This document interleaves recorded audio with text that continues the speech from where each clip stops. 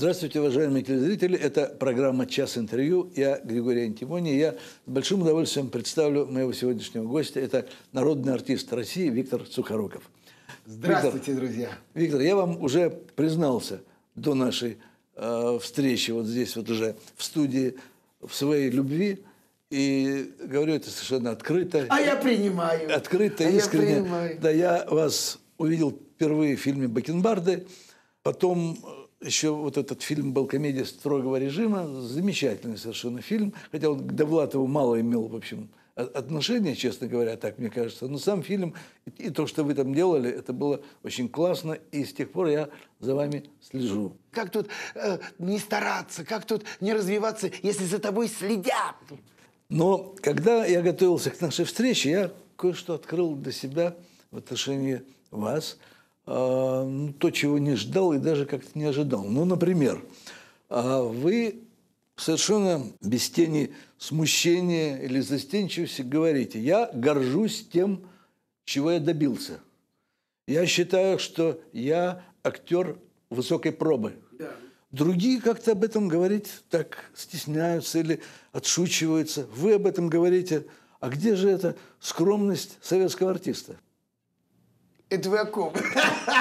Ну как а, они сходятся? Актерство и скромность. Я этого не понимаю. Мы же говорим не о человеке Сухорукове, который может э, буквой «Г» э, копаться в грядках у себя на даче. Это не тот актер, э, человек Сухоруков, который тихо ходит по улице Москвы, ездит в метро, в общественном транспорте, ходит по магазинам, который может сидеть одиноко в кресле, в трусах, ходить по паркету, по, по квартире и что-то про себя мурлыкать. Мы говорим об актере Сухорукове. Актер Сухоруков, и я убежден, и вообще актер, он не должен быть скромным бесстыдным обязательно, наглым не нужно быть, самонадеянным это противно, э, э, амбициозным где-то допускается, но скромничать.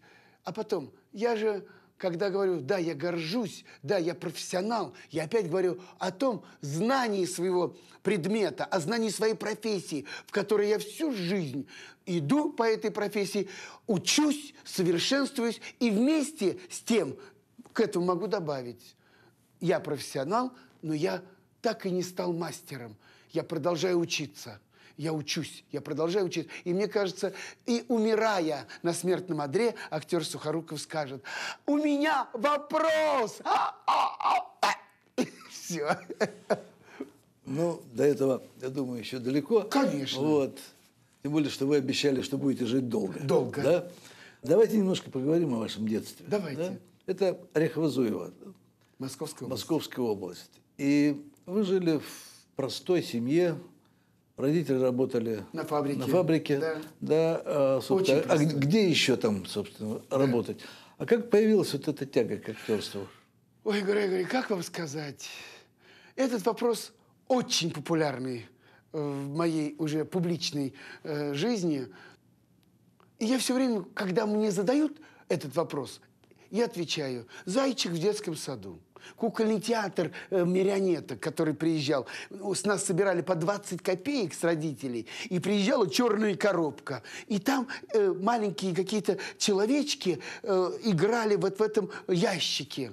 И я, видя эти веревочки, привязанных к рукам и ногам, я эти веревочки воспринимал как какую-то нервную систему этих живых э, человечков. Вы не поверите, э, 57 год, по-моему, э, фильм Роу «Марья искусница» про водяного царя. И там есть эпизод, когда водяной царь открывает шкатулку, и там маленькие балеринки танцуют, танцуют. И вдруг он кричит «Мама!» э, Мальчик э, Перевалов, актер, э, ребенком снимался. И они все съеживались в этой шкатулке. я верил, что такая шкатулка есть. Я верил, что есть такие маленькие человечки. Я верил в этот черный ящик. И я верил в то, что будучи зайчиком в детском саду, я буду обязательно крупным актером. В России или, может, в мире, кто его знает. Я тогда ведь не знал, что мир так велик. Я знал, что есть Советский Союз, но я не знал, что есть такой большой, огромный мир. К сожалению, я его э, рассматриваю уже поздно, мне много лет, и поменял бы я что-нибудь для себя. Наверное, много чего поменял только из любопытства, только для того, чтобы расширить, не уйти или там уехать, что-то сломать. Нет, не для разрушения, а для обогащения, для какого-то выроста из своего провинциального пиджака. Вы, э, вспоминая свое детство, э, в Орехово-Зуево, вы в интервью говорите, я помню нищету, голод, неудачи, пьянство, драки, страхи. А что вот, вот в вас сегодняшнем от того Вити Сухоруков? От того ничего не осталось. Открываю сенсационную новость. Перед вами реинкарнация Сухорукова. То есть есть имя, фамилия, документы, есть все. Э, я сам себе задаю вопрос, где тот Сухоруков? Звонок сегодня был из Москвы. Звонит один из продюсеров, Дима Перкулов, я с ним сотрудничаю э, с Александром Анатольевичем Прошкиным уже не первый фильм. Мы закончили хорошую картину под названием «Охрана». Я настолько э, люблю то, что я делаю, что мне не нравится уже слово название, а все время э, хочется сказать по имени. Фильм по имени, спектакль по имени. Так вот, э, вот все, что вы перечислили, Наверное, есть только страх, что чего-то не успею или с чем-то опоздал. Все остальное, что вы перечислили, растворилось, потеряно. Нет, не потеряно, оставлено там, на перевалах, в тупиках, в затемнении, за углом. Там, в той жизни, в первой, второй – у меня сегодня третья жизнь. И вот мне Маперкула звонит, говорит, Витька, вот ты все время скрывал, а я сегодня с женой смотрел картину по нашему российскому телевидению «Три жизни Вити Сухорукова». Э, этот фильм документальный был сделан к моему юбилею три года назад. До сих пор крутят. 45-минутный, 50-минутный хороший фильм. Именно там я исповедовался перед огромной аудиторией. Я рассказал честно о многих вещах только для того, чтобы другие не наврали чтобы другие не оболгали, чтобы другие знали, чтобы многие знали, что есть счастье на земле, есть чудо на этой планете, есть вещи, которые подвластны нам, смертным. Э, вот, э, как вам сказать, мы можем что-то внутри себя изменить и внешне, и внутренне изменить вокруг себя. Мы можем не подчинить мир э, тот, в котором мы существуем, но мы можем гармонично в него даже ворваться. Я ворвался в этот мир неожиданно, но для этого мне пришлось многим пожертвовать, с чем-то расстаться, потерять, оставить, заплатить. Не деньгами, а именно каким-то неким э, походом, самостоятельным, походом жертвенным. Э, может быть, я витиевато рассуждаю, ну скажу, что такое сегодняшний Сухоруков? Я сам себе иногда, глядя в зеркало, и говорю, Господи, а где тот Сухоруков, который пел песню любимой актрисы Татьяны Дорониной. У меня был период во второй жизни, именно самый кипучий, могучий, самый черной, червивой, самой как э, вертлявой жизни. Это вторая жизнь после окончания института и перед тем, как я взлетаю э, на кинематографе и в новой своей жизни театральной. 2000 год. И вот этот промежуток, он самый, конечно, и самый интересный. Так вот, э, там было очень много того, что я не понимал, что со мной происходит. Э, в первой жизни это детство, там, мечты, страсть к искусству, страсть именно из нищеты. Но я любил картинки, я любил кино, я любил э, э галереи, я любил концерты на стадионах. Вот. Я любил много чего. Я любил сказки. Я любил Новый год только за то, что э, по улицам ходили ряженые. Я любил драки пьяных людей. Мне нравилось наблюдать. И я маленьким мальчиком залезал на подоконник и подсматривал за людьми. Я изучал старых людей, пьяных людей, свадьбы, похороны. Эти процессы, эти процессы меня манили, увлекали, и я все время ждал каких-то превращений. И в результате очень известная история, которую я рассказывал очень часто, но она хороша для моей биографии.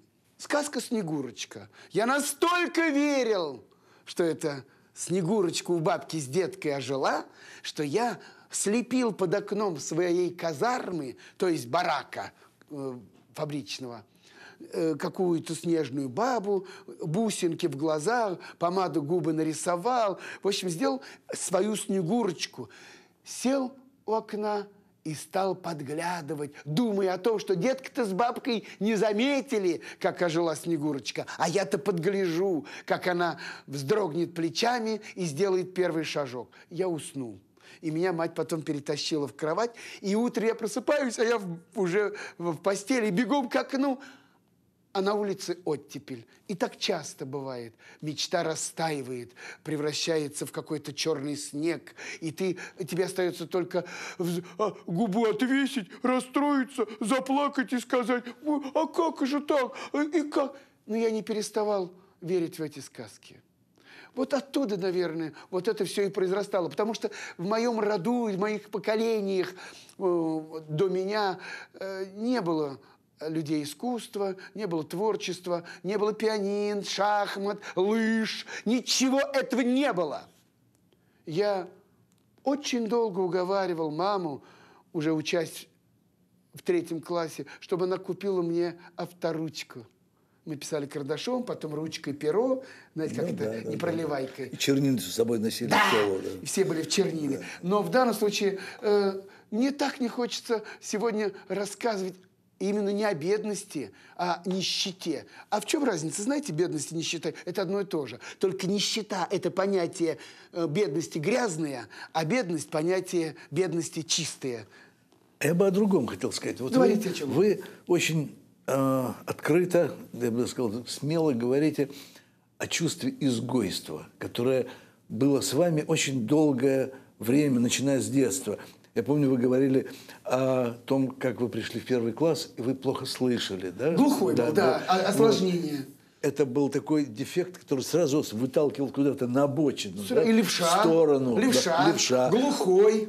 Что да. запрещалось в советской школе, да? да Писать ой, лево, левой рукой. Досталось. Вы сразу же с детства стали не такой, как все, да? да? И где-то вот сбоку, да, в стороне. Да еще мечта тоже откладывалась. Когда я что-то изображал, ну, только люди смеялись. И они смеялись, может, надо мной зло. А мне нравилось, что они смеются, что я им доставляю удовольствие. Вот это вот ощущение, оно с вами долго было? Долго.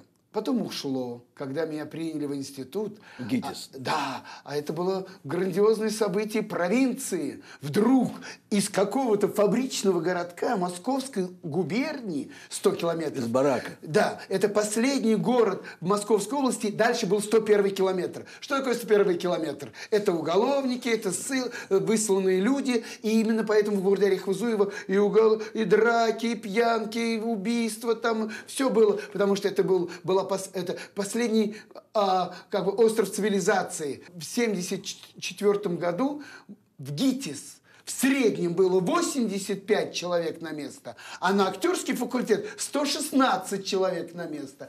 Перед вами сидит мальчик Витя Сухоруков, который 116 человек отодвинул в сторону. Чудом. Я не говорю то, что я лучше их. Я случай из этих 116. Я неожиданность из этих 116. Я чудо. Просто понимаете? Потому что э, каким образом Остальский Всеволод Порфирьевич, который набирал курс, он же сказал, что он либо ненормальный, либо гениальный, но он рискнул. Наверное, он понимал, ну, не понравится, уволю, отчислю. Но передо мной гвардия э, талантливых пацанов и девочек шли в эти московские вузы, и они остались там, у забора с надписями мелком, угольком и чем угодно, понимаете? А я вдруг раз и попал в московский вуз. Это было грандиозное событие в моем городе Орехово-Зуево. Я же выпросил справку э, в деканате. Нет, дайте справку, что я поступ, принят на первый курс актерского факультета. И я с этой справкой шел по субботнему Орехово-Зуеву. Э, был э, июнь месяц, тепло, прекрасная погода, танцы в городском парке, горя, горят гирлянды лампочек, как покрашенных гуашью, молодежь танцует, выпивает портвейн, и я шел по этой улице, и у меня только в уме диалог с матерью. Меня приняли в московское высшее учебное заведение. Это, это какие-то Такие были деньки. И вот сегодня я приглашен актер театра Вахтанга. Это тоже чудо. Сегодняшний Сухоруков служит в Академическом орденоносном театре имени Моссовета, где служила Фаина Раневская, Георгий Жонов, э, Вера Морецкая, Любовь Орлова, Мордвинов, э, Ванин, Абдулов. Не Саша, а тот Абдулов из э, «Остров сокровища», хромой. То есть да. гвардию таких... Осип Абдулов. Душ, Осипов, да. И на Бронно играю э, спектакль. Так вот, там, там мальчик Орехозуевский. И вот произошла реинкарнация в том плане, что во второй жизни передо мной некая сила. Могу назвать Богом, можно назвать чертом, можно назвать некой мессией, неким каким-то, э, каким-то, я не знаю, властителем, который сказал – Давай начнем все сначала. Хочешь? Хочу. Трудно будет? Я говорю, согласен. Но запомни, Сухоруков, лучше не будет, легче не станет. Готов? Готов. И одиночество будет преследовать тебя долго-долго. И я приготовился именно к такой трудной, забвенческой какой-то э, жизни, очень скупой на маршруты. Театр, дом, магазин. Вот вот какому-то очень скромному своему существованию, как раз до Бакенбардов, до Юрия Мамина. Это вот были как раз э, начало 80-х. И вдруг, конечно, чтобы сегодня сидеть здесь, в Торонто, в вашей телевизионной компании, Грегори, и хвастаться, и гордиться, и говорить, да, я состоялся. Конечно, я куражусь Конечно, я тут изображаю себя клоуна, но я драматургический человек. Не драматической судьбой, а именно драматургический. Любая, любая страница жизни – сюжет. Так вот, сегодня, чтобы так сидеть, я во второй жизни многим пожертвовал. Я многое оставил там. Вот вы сегодняшний о себе вот из той жизни, из начала 80-х, да, когда вроде вот вы закончили ГИТИС, открывается новая жизнь, да, вот все мечты могут быть реализованы, и вдруг все рушится, да. И вы о себе говорите с такой э, просто пронзительной откровенностью, которая, ну, наверное, свойственна героям Достоевского. Можно из вашего интервью, Давай. да, одну короткую э, цитату. Это вы говорите о себе. «Я был животным, пьяным, замызганным, никудышным и бесполезным». Да. Все правда. И добавить могу. А, лужей, червяком в этой луже, инфузорией, можно сказать. Я говорю о прошлом. Понимаете, когда мне говорят, а вот тебе не обидно, а вот ты, тебе не жаль. Я говорю, счастливый человек не имеет права на обиду. Счастливый человек не имеет права на месть. Как ни странно, не надо быть благосклонным, не надо быть щедрым, не обязательно быть снисходительным. Но если у тебя что-то получилось, что-то состоялось, ты оформился, и у тебя, как бы, знаете, э, тебя облил судьбоносный какой-то э, дождь, вот он омыл твою жизнь, он обновил тебя, омолодил, оздоровил, осчастливил. Из-под такого душа нельзя выходить злобным. Смирно!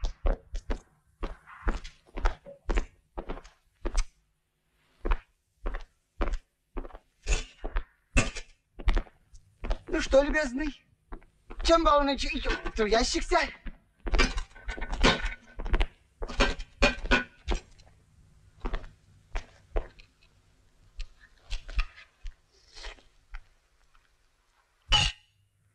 А супец-то жидковат. М?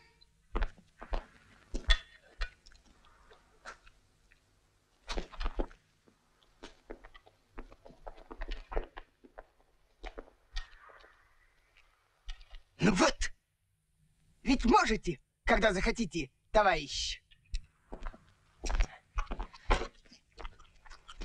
Революция, голубчик, не только штыками делается но и брюхом, поверьте.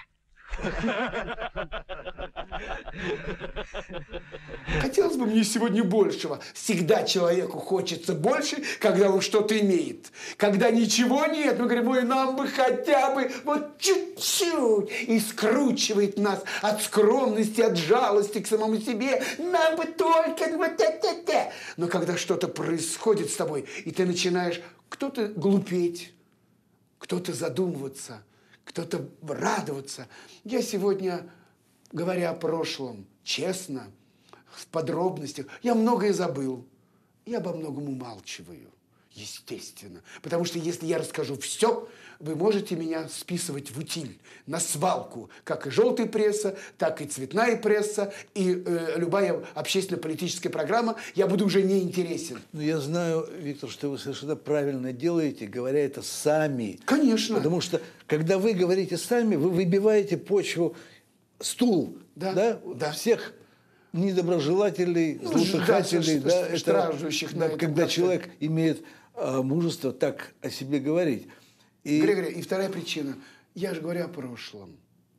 Вот если бы я говорил это о настоящем, наверное, здесь надо задуматься больной. Когда уже это прожито, об этом не страшно рассказывать. Третье. Для меня прошлое не прошлое. Для меня прошлое – это мой сегодняшний учебник. Катехизис – это моя Библия, индивидуальное напоминание.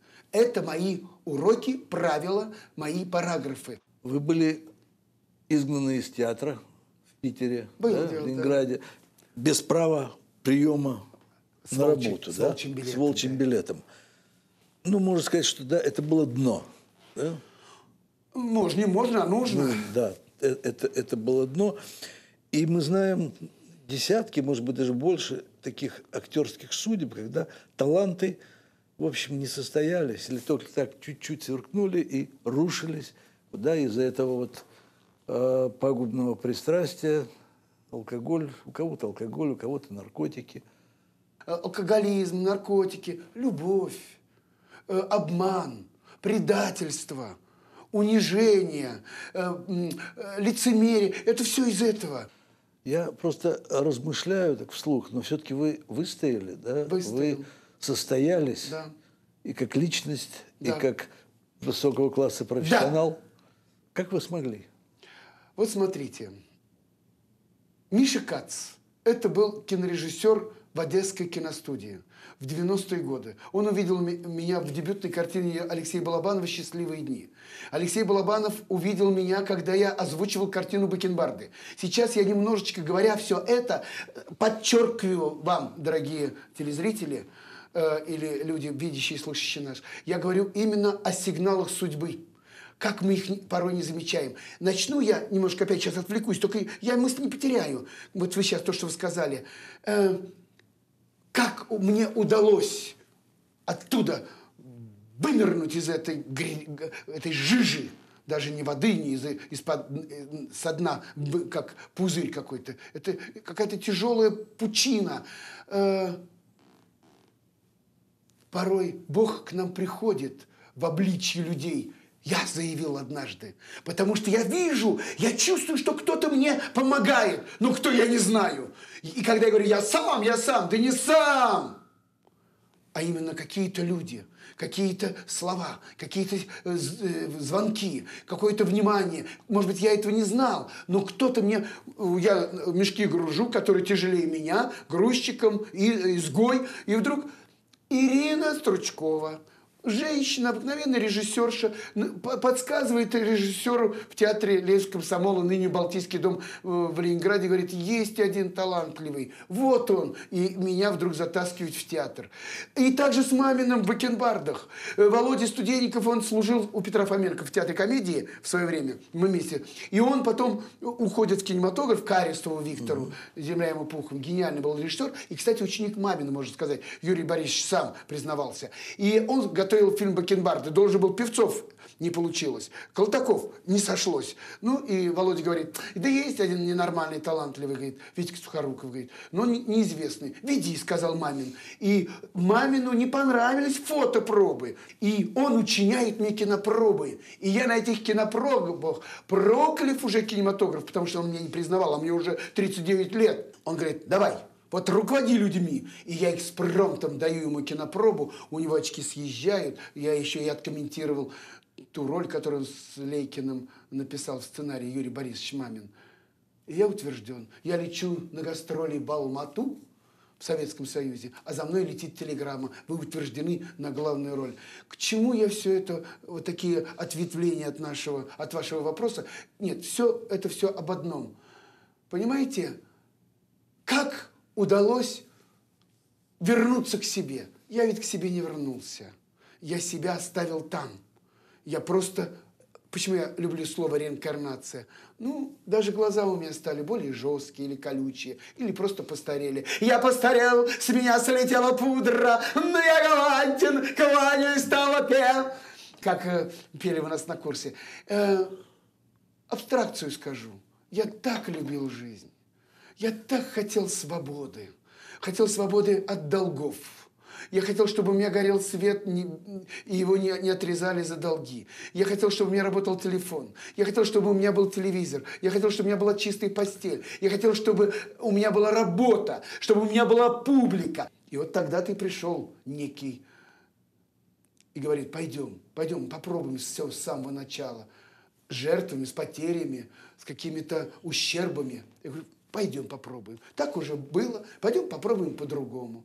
Нельзя отчаиваться, нельзя злиться, не надо искать виноватых. Я во всем виноват. Я причина всех моих и бедствий, и странствий. Только я. Почему я сегодня люблю людей?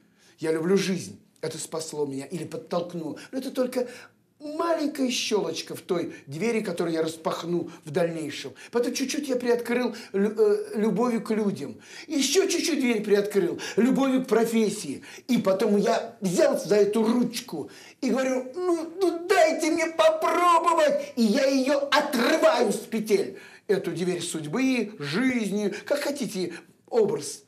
Потому что на меня такое понеслось но почему я про Мишу Каца вспомнил? Это 92 год, он увидел меня в дебютной картине у Алексея Балабанова, который меня утвердил на свою роль. И после мы будем сниматься с ним пять фильмов подряд, и он сделает меня всемирно известным, благодаря фильму «Брат, брат 2». Но не об этом речь. Именно там Миша Кац меня увидел и пригласил на фильм. Его никто почти не видел. Называется «Хромые внидут первыми. Главную роль играл. И я еду в Симферополь, у меня полсумки лекарства от язвы желудка, полсумки беломора. Термос не поставить.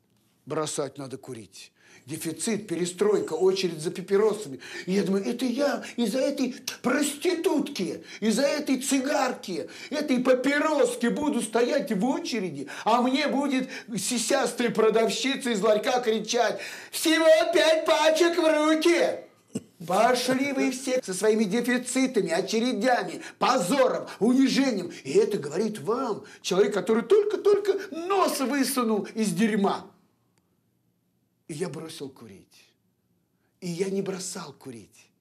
Я пошел на войну с этой проституткой. Только вот окоп, здесь я, а тут папироска. И я лежа под выходные дни, я уже в Балтийском доме работал, Ленинского комсомола, лежу, и душа с телом расстается. А я думаю, нет, это меня не трясет, не колотит, это не наркомания, это не курение, это пытка. Меня пытает враг. И я придумал себе игру в войну с папиросами. Папиросы – это вражьи войска, а я – это, значит, мои войска. И я ее победил. Сегодня вино рекой, еда в изобилии, скатерти самобранкин э, повсюду, соблазны, улыбки, разврат, э, любовь, кино, вино, домино, обман, все, все. А я сижу, как Катя и какая Иванова в окошке, а, актриса Зуева. Жили, были где ты, баба? И рассказываю сказки про себя. Но мне доставляет удовольствие рассказывать об этом, потому что еще раз хочу вам сказать, не надо опускать руки, не надо слабеть. Это только кажется, что это конец. И у слова «конец» тоже можно поставить многоточие. И именно наша жизнь, наши деяния, наша, наша смерть не в слове «конец», а в многоточии. Я живу этим многоточием очень-очень давно. Конечно, сегодня не очень полноценный сидит перед вами человек. Во мне и в моей биографии есть темные пятна, э, или как это, черные дыры, белые пятна. Есть у нас такая телевизионная э, программа великолепная на канале Культура. Все это есть.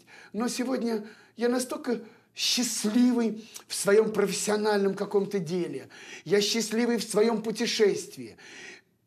Я прихожу в посольство, вот в американское, мне не задают вопросов. Мне ставят штамп виза. Езжай, Виктор Иванович, ешь, пей, гуляй, наслаждайся. И я сажусь на двухъярусный автобус и езжу, и катаюсь по ночному Нью-Йорку и молчу. И идет дождь, и горят огни Манхэттена, э, английский язык чего-то там кудахчет в уши. Я ничего не понимаю, хотя английский язык изучаю уже 10 лет. Утром учу, вечером забываю. Вечером учу, утром забываю, да черт с ним. Но я его учу, и мне это доставляет удовольствие. Попробуйте, попробуйте свое самое нехорошее, неприятное, гнусное дело с удовольствием э, к этому относиться, вы знаете, помогает. А были люди, которые от вас не отвернулись? Да. Я, может быть, сегодня э, скажу об одном человеке. И это заслуженный артист. И вы его знаете. Андрей Шарков. Он актер театра Большого драматического театра имени Товстоногова в Петербурге. Толстый. И в «Тайных следствия» сериал он играет уже 15 лет патологоанатома в Берете. Вот это вот мой друг, человек, который знал меня всякого во все времена. С тех пор, как я выска... э, вернулся э, в мир искусства. И он, зная все это, ждал, когда у меня все сложится, все получится. И сегодня это, можно сказать, самый надежный мой товарищ, потому что все эти годы он не, бросал меня, чувствовал меня, помогал мне. И таких есть, такие люди есть, но их меньше, чем пальцев на руке. Но они есть.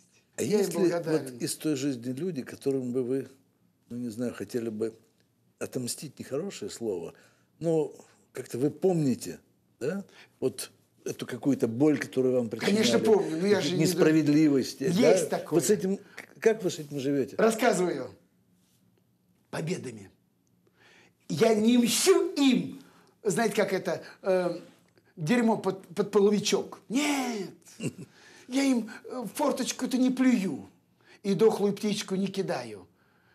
Я мщу им своими победами, своим путешествием, своим, своими наградами. Вот, вот Улыбнись нам, Господи. Римас Туминас, лучший сегодня художник, театральный художник не только Москвы, но и в России. Один из лучших в России, лучший в Москве. Меня приглашает, ну, можно сказать, с улицы на одну из главных ролей спектакль по произведениям Кановича «Улыбнись нам, Господи». Я играю там Авнера Розенталя, человека, похожий на мою биографию, только немножко перевернутую. Он был благополучным, состоятельным, богатым, презирающим общество, высокомерным. Пожар и другая жизнь, другая эпоха в его судьбе. И вот он, они сталкиваются в этом спектакле, эти мои два Авнера Розенталя. Почему я об этом так подробно рассказываю? Потому что э, получив эту роль из рук такого человека, я сказал себе, ты должен, Сухоруков, это сыграть так, чтобы он об этом не пожалел. Чтобы целая труппа гениальных актеров, великолепных артистов, чудных и даже незамеченных а они есть в театре Вахтангова, чтобы они сказали, нет, Витьку Сухорукова не зря э, Туминус пригласил. Я должен был этому соответствовать. Сейчас поймете, к чему я это веду. И я сыграл. И Куснарович, э, Черешневый лес, есть у нас такой фестиваль, награждает меня за эту роль вот такой черешневой ягодой. Стекло, цветное стекло с острова Мурано, итальянское стекло. Приз, да еще денег дали. У меня уже приз московского комсомольца за Авнера Розенталя. С этими призами я живу. Так это и есть месть тем, кто там, кто меня обижал, кто меня э, ненавидел, кто меня недооценивал кто мне говорил, иди отсюда, алкоголик, пошел ты такой секой, или вообще здоровался. Не здравствуйте, да, я рассказываю немножко э, э, экзальтированно, артистично. Это не злоба, то, что я показываю. Я просто уже привык. Мне говорят, а где ты живой, где ты не живой, где ты играешь, а где ты не играешь. Э, трудный ответ, но я везде живой. Я везде по совестью, я везде со своей правдой. Хотя, конечно, шоу должно продолжаться. Так вот, я этими наградами, этой ролью, участием в Актанговском театре и мщу тем недобрым людям, которые остались в прошлом.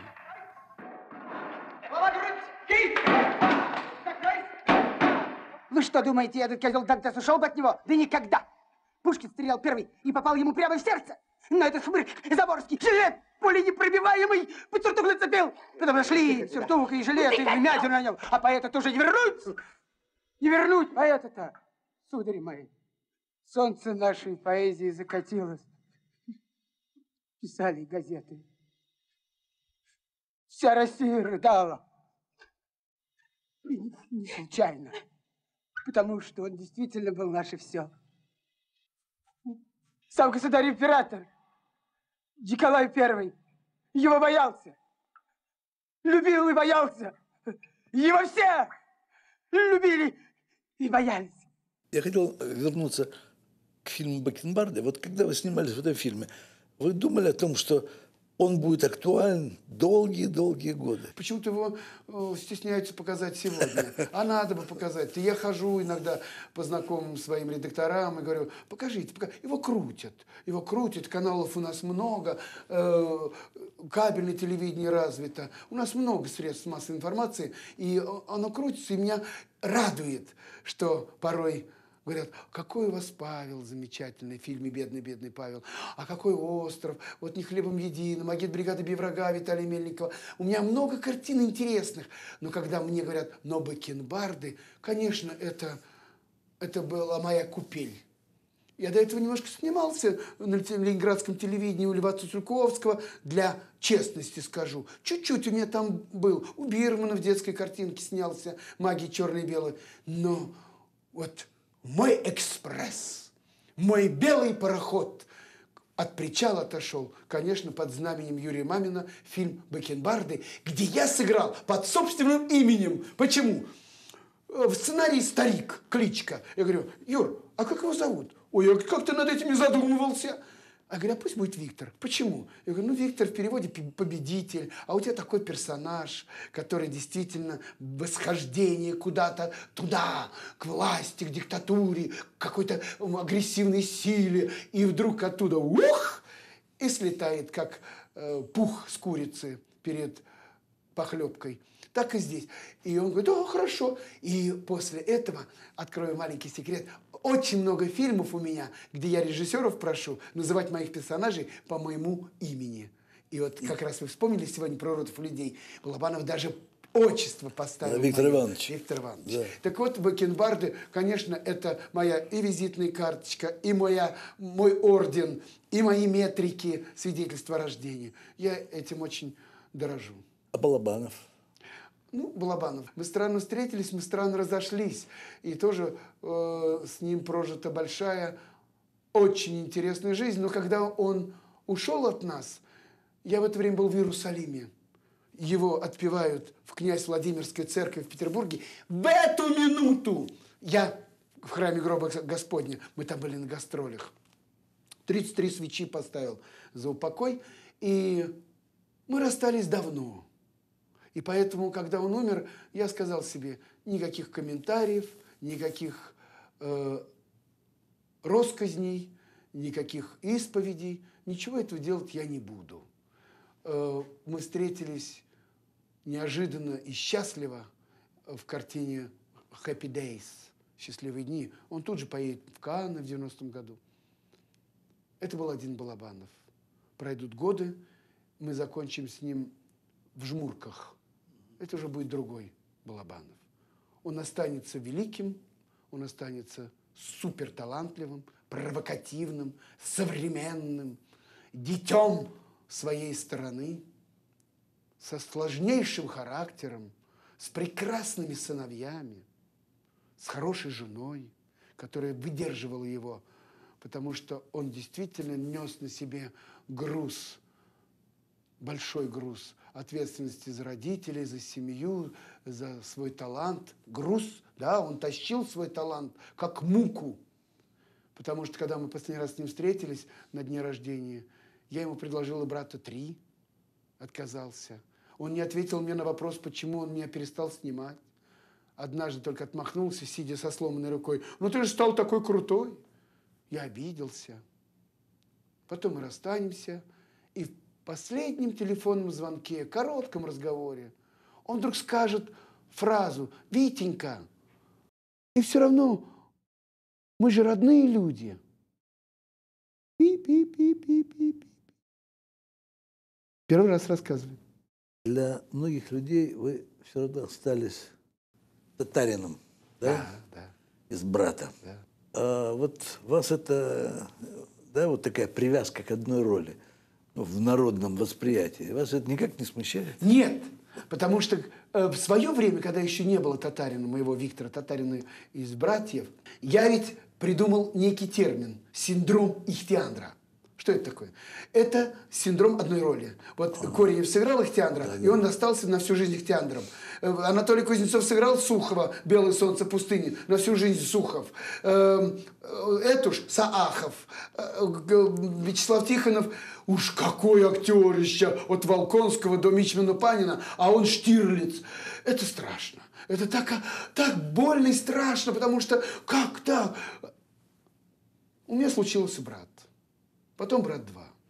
И я стану Витя Татариным по всему миру, без преувеличения.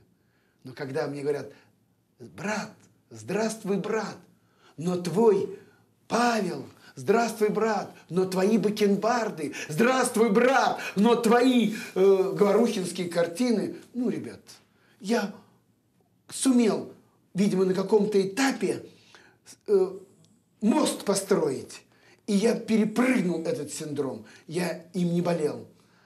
Да, узнают, да, ценят, уважают, респект, респект, респект. Но вместе с этим мне же перечисляют те картины, которыми я очень дорожу, в том числе и комедии строгого режима.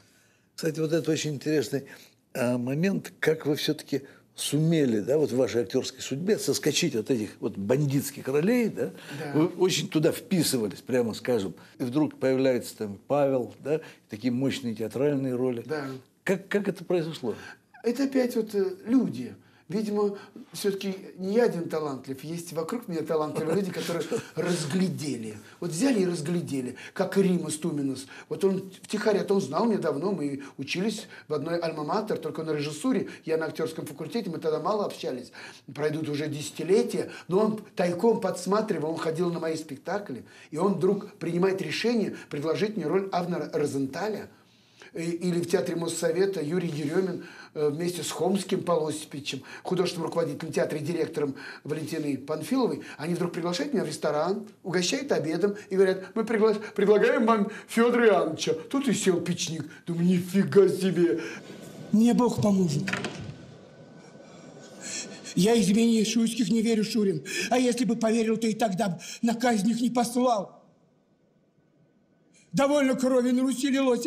При батюшке Господь ему прости. Ну, Я знаю, знаю, знаю, что ты скажешь. Что через это царство замутится. Не правда ли? Но то Господня воля. Я не хотел престола. Видно, Богу угодно было, чтобы не мудрый царь сел на Руси. Ну что ж, каков я есть, таким и должен оставаться. Ступай. Ступай, ступай! И я сегодня с полным правом могу гордиться как отрицательными ролями, так и положительными. Ну, может быть, в этом и есть талант. Только мы об этом не знаем. Вот возвращаясь к теме скромности и нескромности, Давай. да? Вот опять нашел в одном вашем интервью такую фразу. Я играю эпоху. Да. Грегори, значит, был такой случай. 90-е годы. И вдруг начинает кино затухать. Какие-то идут картины, коммерческие, кооперативное кино, там что-то возникает. А наши киноимперии, Горького, Мосфильм, Ленфильм, в упадке, в упадке. А я сниматься начинаю.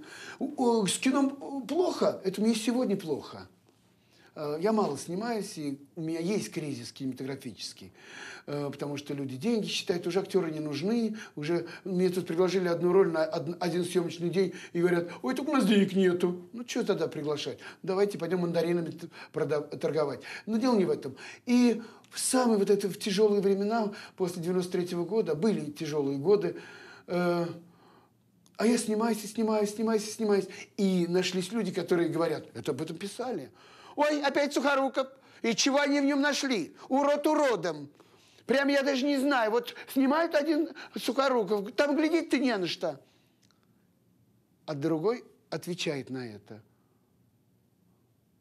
Какое время таковые герои? Мол, уродливое время, уродливые герои. Хотелось мне плакать в этот момент, когда я узнал об этом. Конечно. Хотелось ударить. Хотелось.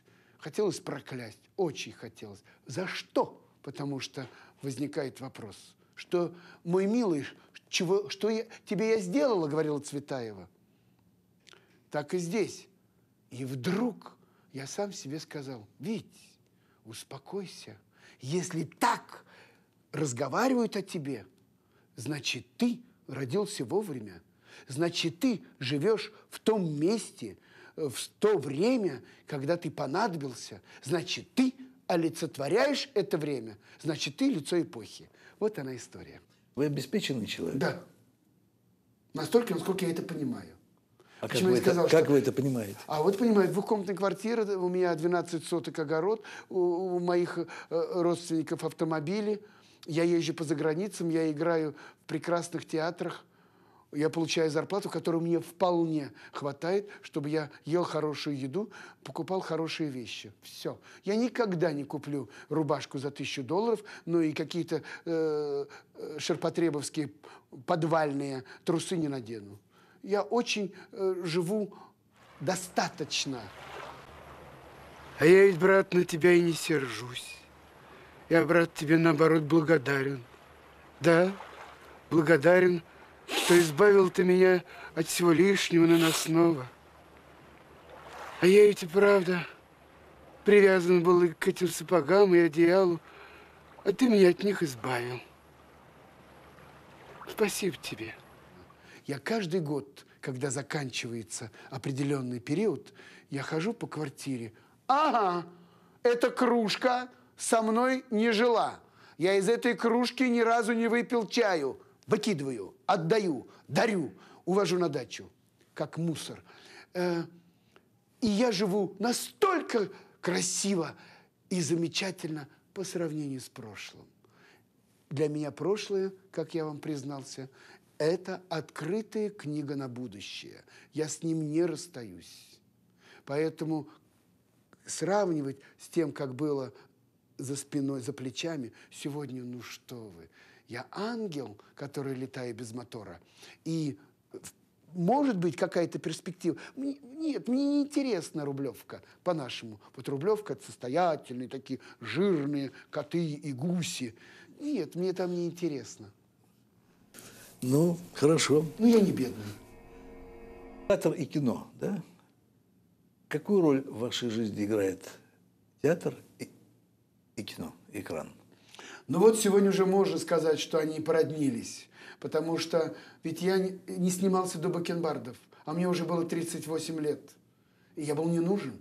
И однажды был случай, когда меня пригласили на эпизодик и забыли на площадке вместе с солдатами, которых привезли из воинской части для массовки. И они меня довозили до киностудии. И я сказал, больше я не ногой в кинематограф. Хватит. Не, не нужен и не надо. Обойдусь. Я мог это. И только после этого момента мне звонил, и я ему отказывал. А Володя Студенников, его второй режиссер, говорит, ну попробуй, ну давай, ну чего-то, ну главная роль. И я из уважения пришел на кинопробы. И так себя То есть закрутил. вы даже не верили, что вас? Не, не верил. И не хотел. Я уже ничего не хотел от них. И театр тоже выгнали. И я пошел по великим людям Агамерзян, Карагодский, Товстоногов. Никто не взял, никто не принял. Все врали. Великие все врали мне. И только Карагодский добавил к этой неправде – слушай меня, мою исповедь, мое признание. Он держал меня за локоток и говорил, у вас репутация пьющего человека. Вернитесь в театр свой, и тогда поговорим. Я убрал его деликатно руку и сказал, если я вернусь в тот театр, из которого изгнан, я к вам никогда не приду. Был разговор. Знаете, какие я вам вещи рассказываю? Это уже прошлое, и я не... Я все равно это люблю. Я обожаю то, что я рассказываю. Я дорожу этим, потому что в этих встречах и в Товстоногове, который сидел, слушал, слушал, а потом сказал, у меня нет вакансий, у меня вакансий нету. У него нет вакансий. Тогда зачем ты меня 15 минут слушал и выкурил две папироски, сигареты? И я уходил и сказал, спасибо, что уделили мне время, но курите вы очень много полная пепельница. И нет обиды. Сегодня нет обиды, только воспоминания, только благодарность и только, а, как сказать, умиление, что это все мое. Вот понимаете, и поэтому что кино и театр? Есть поговорка. Я раньше говорил, нет, театр это дом, кино это дача. Дача может быть, а может не быть, а, кино, а дом всегда должен быть. Сегодня я уже говорю, там хорошо, где меня любят где меня ценят, где меня ждут, где я нужен, даже если цинично, э, корыстно. Я прожил 25 лет в Петербурге, в Ленинграде и переезжаю в Москву. Кстати, вот вы очень часто в интервью говорите, что Петербург не стал для вас родным Да, городом. вот как раз хотел об этом сказать. Вы прям, э, мы друг друга уже понимаем. Э, Он меня принял, но не полюбил. Там я пил, там мне было тошно, там мне было одиноко, там мне было душно. Я ненавидел там Достоевского, который меня и таскал на своих руках. Достоевщина таскала меня на груди. И когда я с этим расстался, уже у меня уже фильмы были, я уже накопил денег, я собрался переезжать обратно в Москву. Москва меня приняла, как я говорю, как кустодиевская баба. Она запеленала меня в свои подолы, закутала в свои посадские платки и румяными щеками прижала к себе и говорит, иди, я тебя зацелую. Образ вернулся, и Москва меня приняла, полюбила, одела, обула и заставила так трудиться, так работать, за что я ей страшно благодарен. В трудах умереть не больно и не страшно. Вот хотя бы несколько слов вы сказали слово одиночество. Да.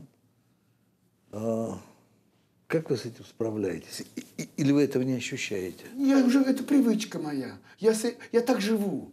Это даже не норма, не правило. Это моя сущность. Это моя природа. И никуда от этого не деться. Я так живу. Э, Я заметил уже, даже если я бываю в обществе, я устаю. Вот, и я убегаю. Ну, так бывает. Такие бывают. Птички в одиночку летают, волки в одиночку воют. Луна это одна. А что для вас важнее, друзья или родственники? Э, Родственники, конечно. Родственники. Конечно. Вот вы знаете, вы один из немногих моих гостей, может быть, даже единственный, который так сказал. Почему? Потому что все говорят друзья. Нет, даже если бы мои родственники, а их осталось немного, если бы они были со мной в ссоре, я бы переживал это, но все равно это, это кровь, это дерево мое, это моя точка земли, где я с ними появился на свет и встречаюсь с вами. Вы это ощущаете? Ощущаю. И я вам больше скажу. И я Орехозуевский, барачный мальчик. Забудем теперь всю историю про рубаху парня.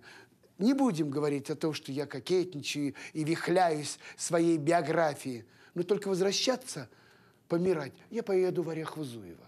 И я это и мэру сказал. И однажды на одной из церемоний, там мероприятий, на празднике своего города, где я почетный гражданин, как я говорю, лучше быть королем в деревне, чем никем в городе. Я король в городе Орехово-Зуево. Меня уважают. Зато меня любят таксисты и пьяно возят домой. Так вот, я в Орехово-Зуеве очень уважаемый, любимый человек. И я сказал руководству города, помирать ведь приеду в Орехово-Зуево. Вы хоть, я прописка-то у меня московская, вы говорите, вы меня похороните? Похороним, похороним. Ну, и это еще будет не скоро. Да, и мы уже говорили о том, что вы пообещали жить долго. К сожалению, наше Планов много. время наше, к сожалению, закончилось. И я хотел бы закончить наш разговор, опять же, цитатой из Виктора Ивановича Сухорукова. Давайте. Она будет такая примерная, да? Так вот, вы сказали о том, что вы не хотите хвалебных речей на панихиде. Вы сказали, хотите сказать что-нибудь хорошее, говорите сегодня. Да. да? Да. Так вот, я думаю, что наша передача внесет какую-то маленькую долю, да, толику вот в то хорошее, что вы хотите услышать при жизни. По скриптам. Оригинальный. Впервые и единственный. И не аплодируйте за гробом. Аплодируйте сейчас. Это был Виктор Сухоруков, народный артист России. Всего вам доброго.